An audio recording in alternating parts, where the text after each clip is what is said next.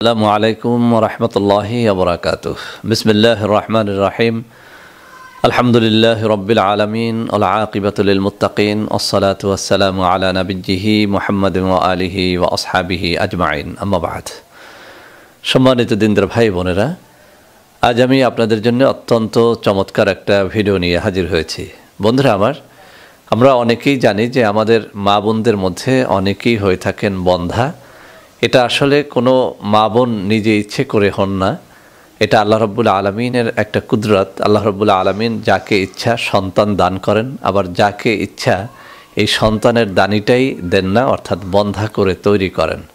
তো বন্ধুরা আমার, আমাদের মা বোনদের বন্ধাত্ম রোগ দূর করার জন্য অনেক রকমের তাবিজ, কবজ রয়েছে, অনেক রকমের ভেষজ আছে। আসলে পরীক্ষিত কিছু ভেষজের মাধ্যমে আমাদের মা বোনদের বন্ধাত্ম রোগটার চিকিৎসা করা যায়। তো বন্ধুরা আমার আজ আমি কথা বলব পুরুষের বন্ধাত্ম রোগ নিয়ে। বন্ধুরা আমার, আমরা অনেকেই জানি না যে পুরুষের মধ্যেও কিন্তু বন্ধাত্ম রোগটা আছে। যদিও আমরা অধিকাংশ পুরুষেরা নিজের বন্ধাত্বের রোগটা নিজের স্ত্রীর উপরে চাপিয়ে দিয়ে বেঁচে যাওয়ার চেষ্টা করি। কিন্তু পরীক্ষা নিরীক্ষা যদি ভালো করে করা যায়, তাহলে প্রমাণিত হয়ে যায় যে একই সংসারের মধ্যে তার স্ত্রীটি বন্ধা নাকি তার স্বামীটি বন্ধা। তো বন্ধুরা, আমার যারা পরীক্ষা নিরীক্ষা করে নিশ্চিত হয়েছেন যে আপনি বন্ধা, আপনার কখনোই সন্তান হবে না বা ডাক্তার বলে দিয়েছে যে আপনার বীর্যের মধ্যে একটা নির্ধারিত মাত্রার, নির্ধারিত একটা উপাদান কমতি রয়েছে তাদেরকে বলব আজকের ভিডিওটি একদম মনোযোগের সাথে শুরু থেকে শেষ পর্যন্ত দেখেন।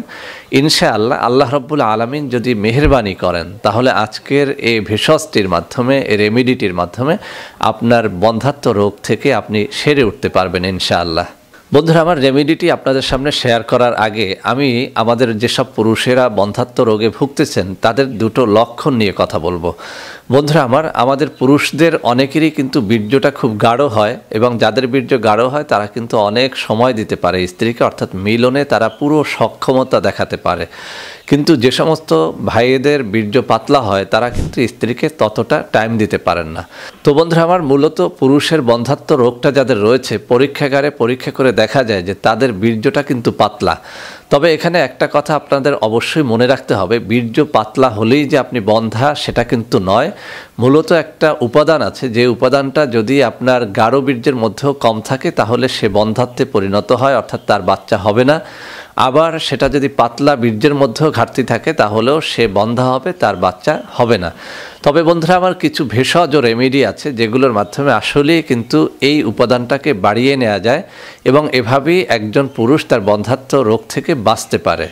তো বন্ধুরা, আমার সেজন্যই কিন্তু আমি বলেছি, আপনি যদি ভালো রকম চেক আপ করিয়ে, ভালো রকম পরীক্ষা করে যদি আপনি নিশ্চিত হয়ে থাকেন যে আপনি বন্ধা, তাহলেই আজকের এই রেমেডিটি আপনার জন্যে। এছাড়াও যে সমস্ত পুরুষ ভাইদের বীর্যটা পাতলা এবং এই বীর্য পাতলা হওয়ার কারণে স্ত্রীর কাছে গিয়ে সময় দিতে পারেন না, খুব দ্রুত বীর্যপাত হয়ে যায়। তাদেরকেও বলব, ভিডিওটি মনোযোগের সাথে দেখেন, আপনার পাতলা বীর্য অবশ্য, অবশ্যই ইনশা আল্লাহ আল্লাহর মেহরবানিতে আপনার পাতলা বীর্য গাঢ় হবে।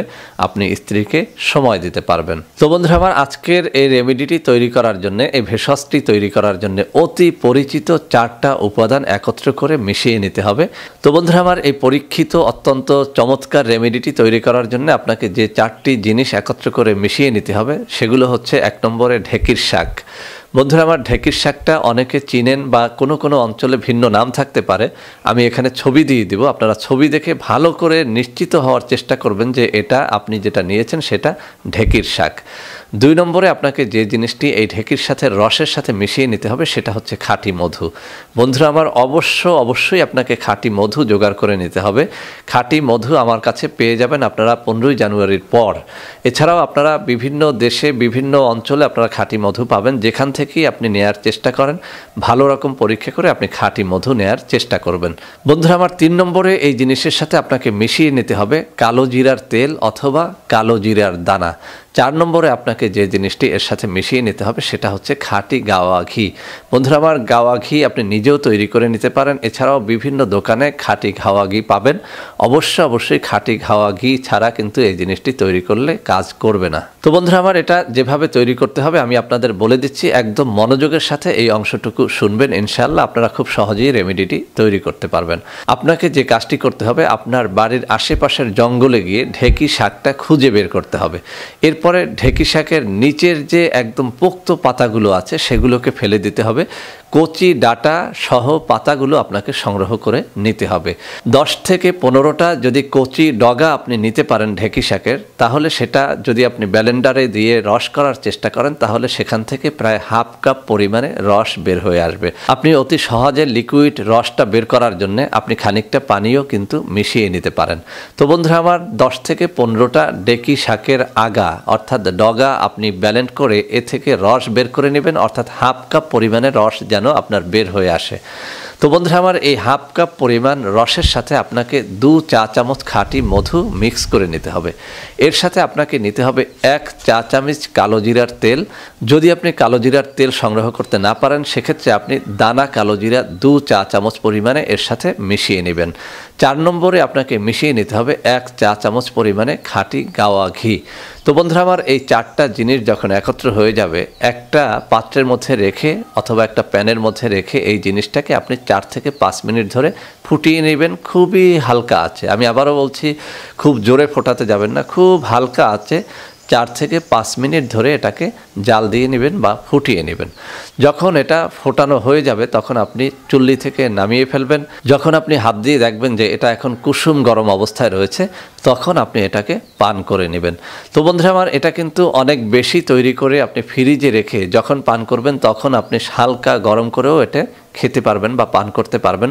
এছাড়া দৈনিক আপনি এটা তৈরি করে খেলে কিন্তু আপনি উপকারিতাটা অনেক বেশি পাবেন। বন্ধুরা আমার যাদের পাতলা বীর্যের সাথে সাথে বন্ধাত্ম রোগটাও দেখা দিয়েছে, তাদেরকে বলব হাফ কাপ থেকে আপনি খানিকটা বাড়িয়েও খেতে পারেন।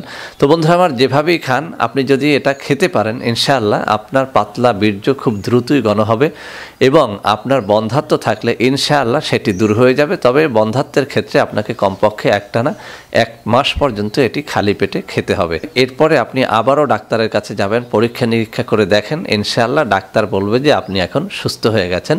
কেননা আপনার বীর্যের মধ্যে যে জিনিসটির ঘাটতি ছিল, সেই জিনিসটি কিন্তু এই মিশ্রণের কারণে আপনার দেহে এখন নতুন করে তৈরি হয়েছে। তো বন্ধুরা, আমার আশা করি আজকের এই ভিডিওটি আপনাদের অনেক অনেক কাজে দেবে। বন্ধুরা, আমার ভিডিওটি ভালো লাগলে লাইক করবেন, কমেন্ট করবেন, শেয়ার করবেন। আমাদের প্রত্যেকটা চ্যানেলকে ভালোবেসে সাবস্ক্রাইব করবেন।